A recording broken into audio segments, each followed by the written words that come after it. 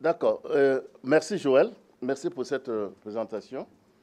Je, voudrais encore remercier le centre euh, qui offre un cadre, assez agréable pour nous permettre, nous, Africains du secteur de la sécurité, de se retrouver et, échanger sur nos défis.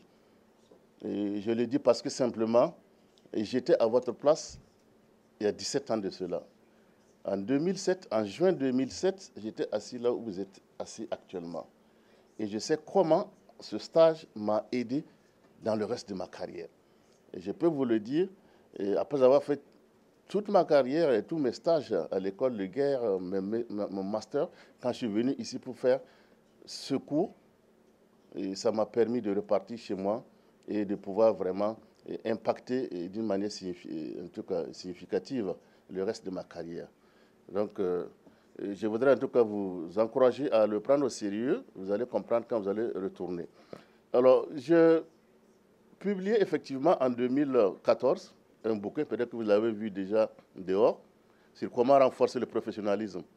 2014 à 2024, ça fait sept ans que ça a été publié. Et chaque année, chaque fois que le César m'invite ici, j'ai la chance de parler de ce sujet. Alors, je peux vous le dire avec euh, sans chose que les résultats, après sept ans, sont toujours mitigés.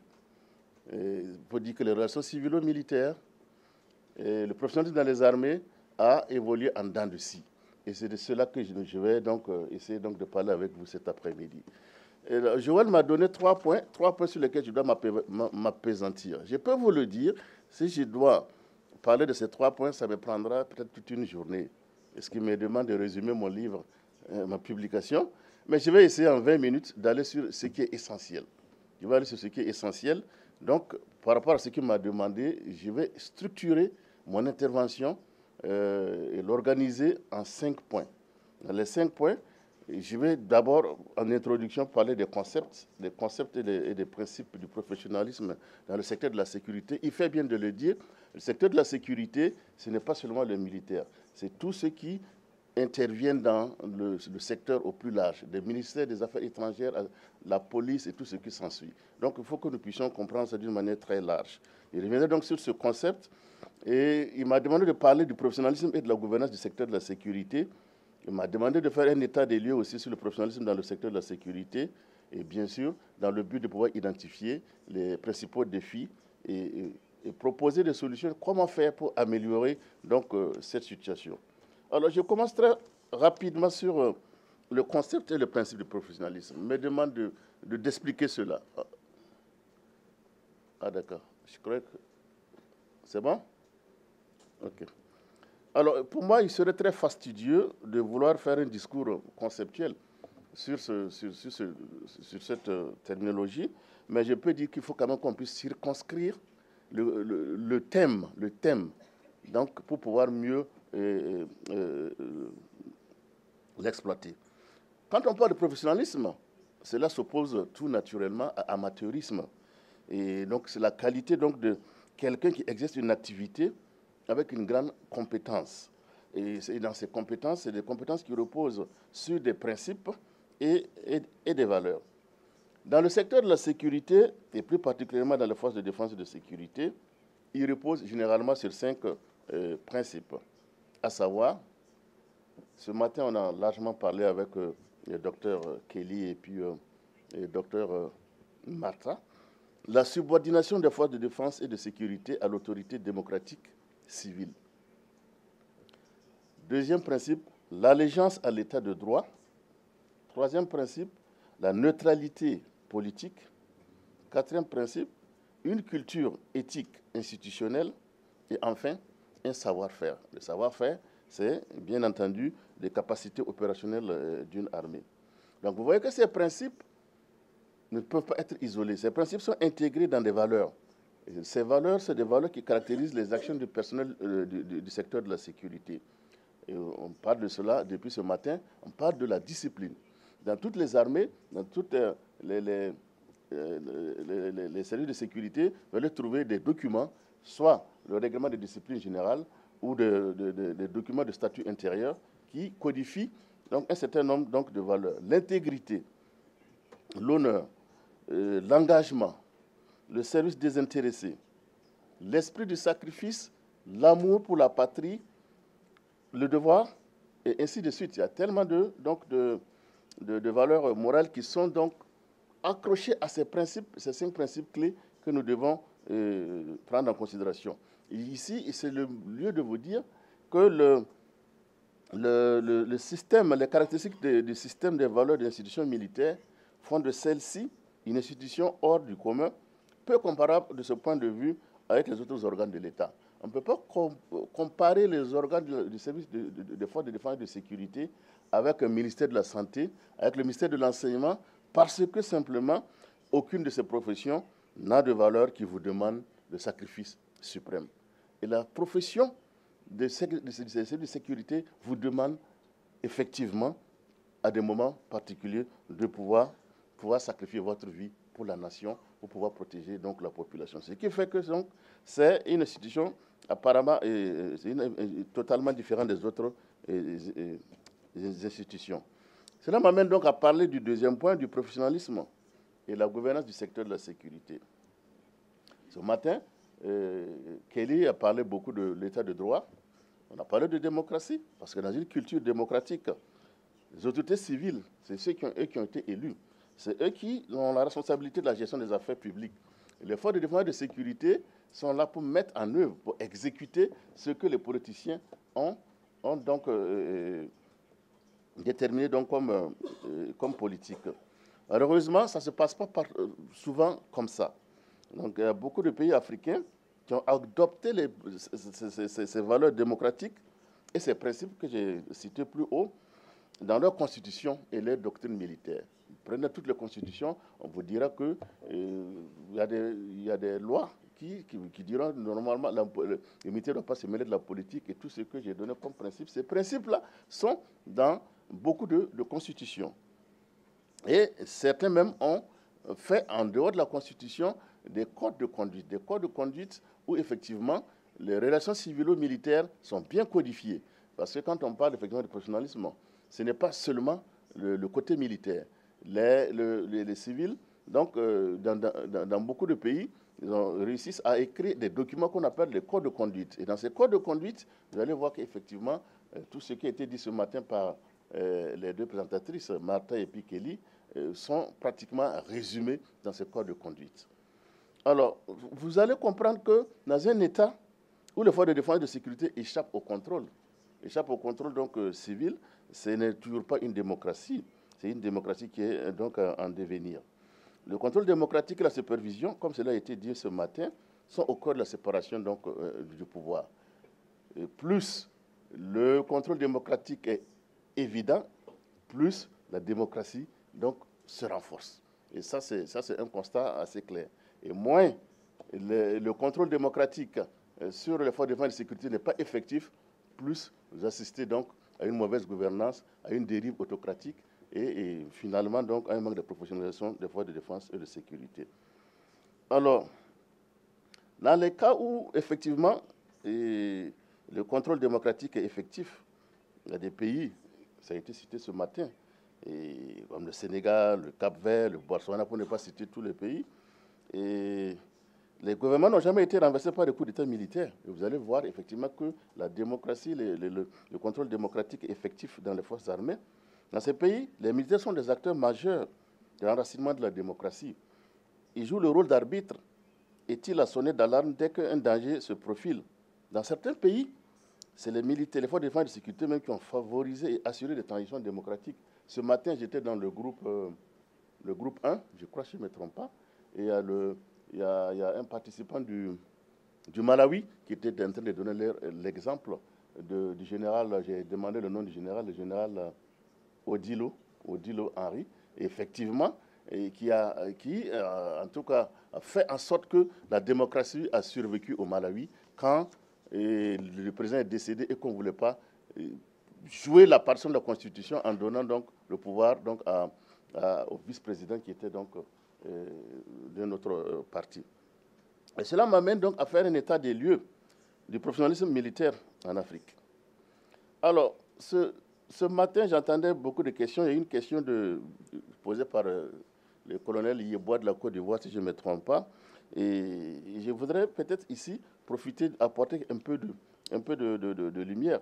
Parce que, en dehors des pays qui ont connu des luttes d'indépendance, je parle donc des pays qui ont, combattu le colonialisme, la majeure partie de nos armées ont été construites sur les cendres des armées coloniales. Des armées coloniales qui étaient là, en fait, uniquement pour défendre les intérêts du colon et défendre les, États nouvellement indépendants contre une agression extérieure et protéger bien sûr ceux qui ont remplacé les colons. Donc une armée reconstruite comme ça, donc c'est des armées donc le fruit de l'héritage colonial.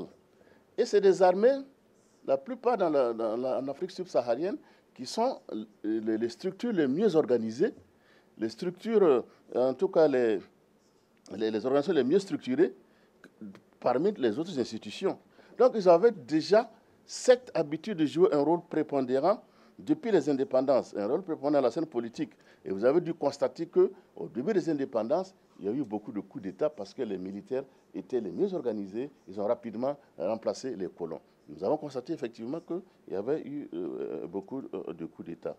Alors, mais malheureusement, ces coups d'État, je reviendrai là-dessus, ça avait baissé et ensuite, avec euh, la guerre froide, ça a repris jusqu'à ce que euh, nous sommes dans une situation aujourd'hui où il y a une, resurgence des coups d'État militaires. Il y avait une accalmie, comme je l'ai dit, hein, après la fin de la, guerre froide. Je crois qu'il y avait un truc. Et vous constaterez donc que le, bleu, le bleu c'est les coups d'État euh, réussis. Le rouge, c'est le coup d'État vous voyez que depuis les indépendances de, 2060, de 1960, il y avait effectivement beaucoup de coups d'État réussis. Et ensuite, il y a eu euh, une petite accalmie. Et ensuite, vous voyez que euh, après euh, pendant la guerre froide, il y a eu trop de coups d'État qui n'ont pas, bien sûr, qui, ont échoué. Maintenant, de 2019, de 2019 à 2024, voici une période où nous, nous revivons encore les affres des coups d'État. Next, please. Euh, et c'est quoi next? Again. Next again. Yeah. Alors, vous voyez, donc, en moins de, en moins de 5 ans, nous avons eu euh, euh, 10 coups d'État réussis en Afrique et 3, 3 qui ont bien sûr échoué. Tout est, est marqué dedans. Donc, à noter que sur les 13 coups d'État réussis et échoués, il y a 8 euh, qui ont eu lieu dans l'espace CDAO, Burkina Faso, le Niger, le Mali et la Guinée, et qui sont bien sûr en passant toutes des, anciennes colonies, à l'exception de la Guinée-Bissau, et trois en Afrique centrale et deux en Afrique de l'Est, plus précisément au Soudan. Alors vous voyez donc, euh, je ne vais pas m'attarder sur ça. Vous comprendrez que le Soudan, qui détient le record, le, le record euh, africain et mondial des coups d'État avec 19, se retrouve aujourd'hui dans une situation où finalement l'armée et les forces paramilitaires sont en conflit, un conflit fratricide et qui laisse le pays dans la pire crise humanitaire donc, que le pays a, connue. Alors, pour comprendre tout cela, il y a beaucoup de facteurs. Beaucoup de facteurs font que nous pouvons, nous pouvons expliquer pourquoi il y a autant de... A, pourquoi il y a une, resurgence des coups d'État. D'abord, les, partis politiques. Il y a un déclin des partis politiques qui explique cela. Il y a la corruption et les fraudes électorales. Il y a les hold-up électoraux. Il y a la fragmentation, l'affaiblissement de l'élite politique. Il y a l'effet de contagion des, coups d'État dans d'autres pays. Je pense que c'était le cas euh, de la RDC où des aventuriers ont essayé de faire aussi un coup d'État. Les crises économiques, la vie chère, la mauvaise gouvernance, je parle de la corruption, l'impunité, le dysfonctionnement, la gouvernance de la sécurité en elle-même. Parce que le terrorisme en tant que crise majeure a amené un dysfonctionnement dans nos États et a mis à nu le manque de professionnalisme et le manque de capacité opérationnelle de beaucoup d'armées en Afrique. Un dysfonctionnement de la chaîne logistique. Vous avez des militaires qui sont déployés sur le terrain, qui font une semaine, deux semaines sans avoir à manger. Et quand ils sont fâchés, qu'est-ce qu'ils font? Ils reprennent la route et reviennent vers la capitale pour s'en prendre aux politiciens ou aux gouvernants. Donc, euh, pour le Mali, le Burkina Faso et le Niger, la crise sécuritaire, essentiellement, la lutte contre le terrorisme a été un facteur majeur en tout cas que les, les, jeunes ont utilisé pour reprendre le pays. Il y a aussi des facteurs, des facteurs externes. Facteurs externes, quand je prends le cas du Mali, où la gente au pouvoir a pensé qu'il y avait une ingérence française dans le renouvellement du bureau du, nouveau gouvernement. Et, cette junte, qui aussi, il faut le dire, supportée par la Russie, a réussi donc à, faire un coup. Il faut le dire, il y a des facteurs externes, comme le cas aujourd'hui au Soudan, où les pays du Golfe sont en train donc de, faire la compétition au détriment donc de cette population qui est en train de, mourir. Donc il y a beaucoup de facteurs qui font que les coups d'État aujourd'hui sont en train de, revenir. Mais essentiellement, il faut reconnaître qu'en dehors de ce que j'ai listé, il y en a beaucoup. Il y a la crise sécuritaire qui joue un, un, un rôle majeur. Et tout cela impacte sur le professionnalisme, donc des fois des défenseurs de sécurité. Parce que la Constitution est violée et il n'y a, a plus de neutralité politique. La rupture de la chaîne de commandement, quand un jeune prend le pouvoir, et absolument, donc ça, ça amène plus d'indiscipline à l'effort de défense et de sécurité parce que d'autres ne vont pas se sentir concernés. Il y a des guerres entre les, unités même dans l'effort de défense et de sécurité. Prenez le cas du Mali où il y avait les bérets verts qui étaient contre les bérets rouges, ou le cas du Burkina où les forces spéciales appelées Mamba et d'autres forces spéciales appelées Cobra, je ne sais quoi, et qui continuent de se, donc de, de, de, de se combattre même si euh, cela n'a pas encore abouti, chaque jour qui se lève, on a toujours l'impression qu'il y aura une tentative de coup d'État. Ça mène plus d'instabilité. C'est moi qui vous le dis. Moi, je viens de Burkina. Il ne se passe pas une semaine sans qu'on dise qu'il y a eu tentative de coup d'État. Donc, vous comprenez que dans ce, dans ce climat d'instabilité, on ne peut plus parler de développement, on ne peut plus parler donc, euh, de, de, de paix sociale. Alors, ce qui est extrêmement important, c'est le manque de stratégie de, sortie pour les jeunes. C'est bon, c'est facile de faire le coup d'État, moi je me dis. Ce n'est pas aussi compliqué que ça. Mais comment quitter, comment partir?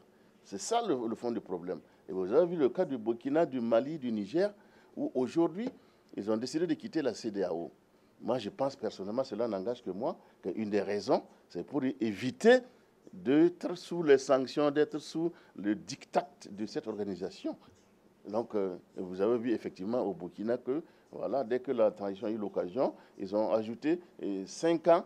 Au lieu de parler de transition, ce n'est plus une transition. Et ce sera le cas pour le Mali et, le Niger. C'est vrai que la CEDAO n'a pas joué pleinement son rôle, mais il faut dire aussi que sortir de la CEDAO euh, donne une bouffée d'oxygène pour, euh, les jeunes pour qu'ils réfléchissent plus longuement sur la stratégie d'exit. Voilà. Et quels sont les principaux défis? Qu'est-ce qui nous amène à tout cela? Ça a été dit ce matin, la politisation du militaire et la, militarisation du politique. Je l'ai dit dans mon document. On a aujourd'hui des militaires qui sont de plus en plus politiciens et des politiciens qui euh, réellement veulent employer le militaire. Je prends le cas du Burkina que je connais très bien. Quand il y a eu euh, insurrection.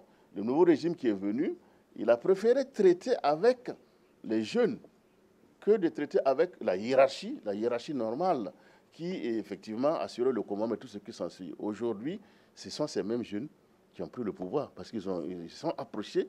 Vous êtes là en crise, au lieu de respecter la hiérarchie, la chaîne de commandement, de préférer utiliser des, des, des, jeunes et les amener donc dans le côté politique cela peut amener un pays à être dans une situation extrêmement instable, comme ce que nous vivons aujourd'hui au Burkina. La résistance au processus de réforme euh, de, réforme de gouvernement du secteur de la sécurité. Aujourd'hui, les pays africains sont réticents par rapport à la, à la RSS, alors que c'est un passage pour moi qui est obligatoire. Ça nous permet de nous mettre à jour, d'identifier les problèmes. Je pense que Martha a parlé de ça. C'est un passage obligatoire. Même les pays occidentaux développés passent par la réforme du secteur de la sécurité. Mais généralement, les forces de défense de sécurité sont, restent toujours orthodoxes. Ils sont allergiques à toute réforme du, secteur de la sécurité. Pourtant, je pense que cela est de, plus en plus nécessaire. L'absence de politique de stratégie de sécurité nationale, ça je ne vais pas m'étaler parce que le docteur Joël euh, reviendra spécifiquement euh, sur cela. Parce que vous avez des pays où les armées n'ont pas de mission claire. Il n'y a pas de vision. Quand il n'y a pas de vision, vous ne pouvez pas être professionnel. Comment vous imaginez qu'un petit des, des, des, pas, même pas 600 personnes peuvent déranger toute une nation? Ça veut dire que nous avons gardé les anciennes structures de nos forces armées et nous avons refusé de nous réadapter aux menaces. Et pour faire cela, il faut avoir effectivement une capacité de pouvoir de, réévaluer la menace. Et par rapport à la menace, pouvoir avoir une doctrine, une doctrine de combat et réorganiser les forces et les structures pour pouvoir faire face à l'ennemi. Et nous ne le faisons pas. Tant que nous serons là toujours à garder les anciens systèmes, à rester dans, l'ancienne vision, c'est-à-dire attendre que l'ennemi vienne de l'extérieur, l'ennemi ne viendra pas jamais de l'extérieur. L'ennemi, il est déjà à l'intérieur. Et ce matin, je parlais avec le, euh, le docteur Boukars. Aujourd'hui, ce que je crains, aujourd'hui, dans le Sahel, c'est que ce n'est plus les populations qui sont résilientes. C'est même, euh, je veux dire, même euh, au Mozambique, c'est les terroristes qui sont devenus résilients. Les terroristes sont devenus résilients. Ça veut dire qu'ils ont réussi à s'adapter, ils ont réussi à créer une économie locale illicite, de telle sorte que la population est prête à les suivre. Et quand c'est comme ça, le combat devient de plus en plus difficile. Et cela met à nu aussi l'approche selon laquelle euh, il faut utiliser l'arme. Non, ça, je pense que cette approche a, montré ses limites. Parce qu'une arme, ça tue, ça tue un terroriste, mais ça ne tue pas le terrorisme. Il y a beaucoup de facteurs aujourd'hui qui font que euh, pour 10 ans, 20 ans, nous avons encore euh, vraiment du pain sur la planche pour pouvoir évacuer. Donc, donc pour ce qui me reste, qu'est-ce qu'il faut faire pour améliorer le professionnalisme? Là, je ne vais pas beaucoup insister. Je crois qu'il faut agir sur trois leviers. Le premier levier, il faut renforcer la démocratie. Il faut renforcer la démocratie euh, à tout prix. Et pour cela, le PNUD, en 1997, a fait quelques propositions qui visaient donc à consolider la démocratie, qui va créer donc un environnement propice, un environnement propice pour renforcer le, professionnalisme.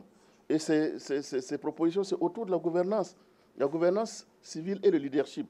Faire en sorte qu'il y ait une participation populaire, respecter la Constitution, faire des élections libres et transparentes, avoir une bonne gouvernance, tolérance et acceptation d'opinions différentes, le respect de l'état de droit, ce qui a été dit ce matin. Et voilà donc autant de propositions qui étaient faites. Et enfin, pour des réponses politiques et institutionnelles, il faut, le last, the last, uh, slide, voilà, il faut absolument, je clique off, dépolitiser l'environnement des forces de défense et de sécurité. Il faut absolument que dépolitiser cet environnement. Il faut ensuite institutionnaliser l'éthique et la responsabilité dans la culture militaire. Il faut mettre en place des mécanismes indépendants de supervision des forces armées. Il faut renforcer le contrôle parlementaire et l'institutionnalisation des audits externes. c'est extrêmement important. La question été posée ce matin.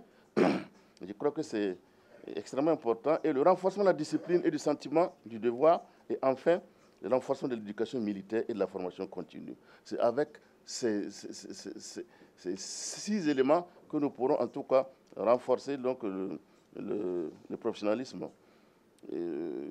donc, en conclusion, je demanderai en tout cas aux pays euh, qui n'ont pas encore adhéré au processus de réforme du secteur de la sécurité d'y aller et surtout et aller vers, in fine, l'élaboration des, politiques et des stratégies de sécurité nationale. Et comme je l'ai dit, demain, on reviendra plus largement là-dessus avec le docteur Joël, parce que cela permettra de renforcer l'efficacité de la responsabilité du secteur de la sécurité et ça permettra aussi de renforcer l'état de droit et le respect du droit international. Je vous remercie.